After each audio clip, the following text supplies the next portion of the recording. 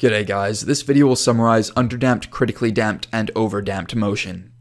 I've covered previously that if you have a mass connected to both a spring and a damper, then the equation of motion can be written in the form x double dot plus 2 zeta omega n x dot plus omega n squared x is equal to 0. Once you go through all the mathematics, you can tell that if zeta is less than 1, then the block will undergo something we call underdamped motion and that means it has the equation x equals ae to the minus zeta omega nt times sine omega dt plus phi. I'll talk about the term omega d shortly. Likewise, if zeta is exactly equal to 1, then the block will undergo critically damped motion, where x equals e to the minus omega nt times a plus bt. And lastly, if zeta is greater than 1, then the block will experience overdamped motion, where x is just this expression.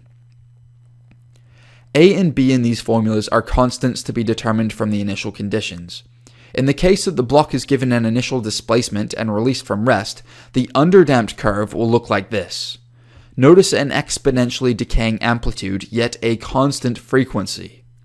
The critically damped block doesn't oscillate and approaches equilibrium the fastest.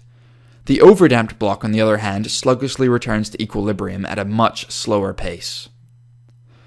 To simplify the mathematics for the underdamped case, we defined omega d as omega n times the square root of 1 minus zeta squared. Notice that coincidentally, omega d happens to be the coefficient of time, and that means it's the frequency of the underdamped system.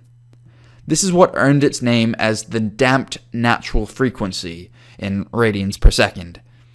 In this formula, omega n is the natural angular frequency and zeta is the damping ratio.